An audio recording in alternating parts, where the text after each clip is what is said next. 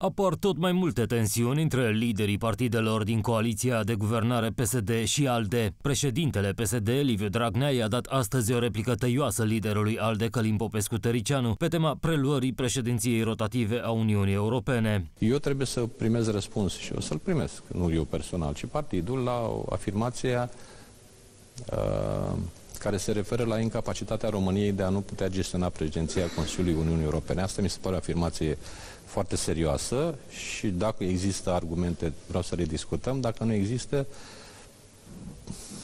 trebuie să nu mai folosim această expresie pentru că nu există niciun motiv. Reacția lui Liviu Dragnea vine după ce Călim Popescu Tăricianu s-a declarat sceptic cu privire la capacitatea partidelor românești de a gestiona președinția Consiliului European începând cu 1 ianuarie. Trebuie spus că în condițiile războiului politic total din aceste luni, România nu este pregătită să preia președinția Consiliului Uniunii Europene. Este un avertisment în al 12-lea ceas pe care îl adresez cu responsabilitate tuturor oamenilor politici, în special președintelui României și liderilor partidelor partidelor parlamentare din opoziție. Cine crede că liderii europeni vor fi înțelegători când în an electoral oamenii politici de la București se vor război, se înșală. România deja pierde teren și va avea enorm de pierdut dacă lucrurile nu se schimbă de urgență, a spus ieri Călim Popescu Tăricianu. Aceasta este cea de-a doua temă majoră din ultima perioadă în care cei doi lideri au viziuni diferite. PSD și ALDE au avut păreri diferite și în ceea ce privește legea offshore despre